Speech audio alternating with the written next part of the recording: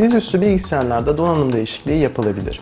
Çünkü baktığımız zaman dizüstü bilgisayarlarda normalde dışarıdan pek fazla müdahale yokmuş gibi ya da işte açılmazmış gibi algılar vardır. Ancak bunun tam aksine dizüstü bilgisayarlar sonuç itibariyle gelişen teknolojinin ve e, yeni gelen uygulamaların, yeni gelen programların ihtiyaçlarının artmasıyla artık yetersiz hale gelmektedir.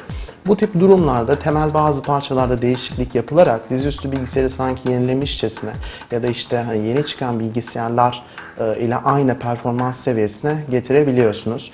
Zaten bu temel parçalar işte RAM olabiliyor, CPU olabiliyor. Biraz maliyetli olsa da onun dışında işte grafik e, işlemcileri, ekran kartları vesaire olabiliyor.